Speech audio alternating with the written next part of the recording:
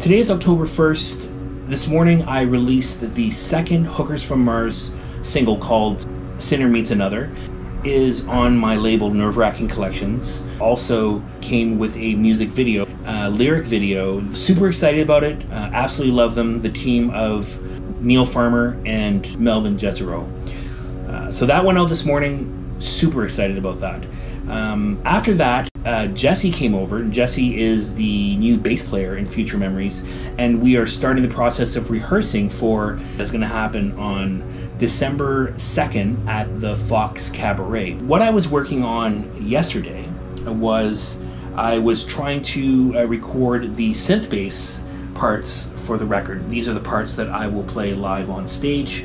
Um, I initially was using the uh, bass station Novation 2 going through this pedal here.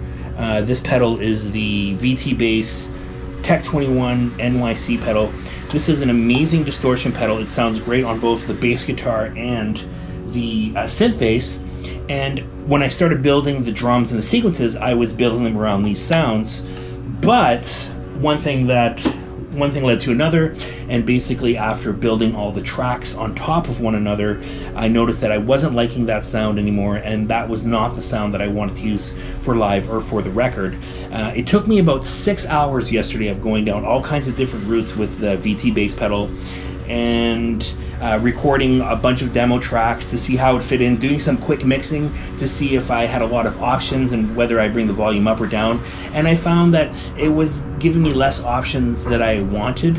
And I tried recording in different ways. I tried recording it with an amplifier and a microphone. I tried recording it direct, and I just did not like what I was coming up to. So after six hours, I completely got frustrated, abandoned the idea, and then it came to me that why am I not using my uh, Line 6 Pod Go pedal, which I use primarily for my guitar and I use in recordings. I also recorded all of the bass tracks for the uh, the bass guitar tracks for the Future Memories record. Uh, I recorded it in the Line 6 Pod Go pedal. And I thought, well, why don't I try running my um, Novation synth through that? So plugging it in, um, going through the presets, automatically really loving the results, really liking that. I know automatically that this is the way I'm to go. October 1st on a Friday, that's what I did.